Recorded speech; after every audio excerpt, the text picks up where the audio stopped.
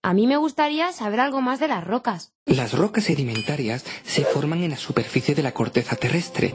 Las rocas sedimentarias detríticas se forman a partir de procesos de erosión, transporte y sedimentación de granos de minerales o de rocas, llamados clastos, que viajan desde las áreas fuentes generalmente elevadas hasta las cuencas de sedimentación que se encuentran a una menor altitud. El proceso se realiza por la acción del aire, el hielo o más comúnmente el agua, apoyado siempre por la fuerza de la gravedad. Así que es el agua el agente más importante para formar estas rocas, ¿no? Sí, el medio acuoso puede transformar clastos con tamaños muy variables, desde pequeñas partículas en suspensión hasta voluminosos bloques.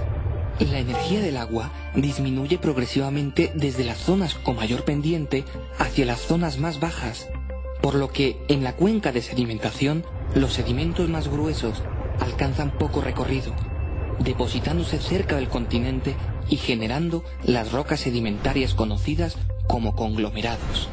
Los sedimentos de tamaño medio avanzan algo más, formando las areniscas. Por último, las partículas más pequeñas, es decir, las arcillas, alcanzan la mayor distancia sedimentándose a gran profundidad lejos de la costa y formando las rocas sedimentarias conocidas como lutitas.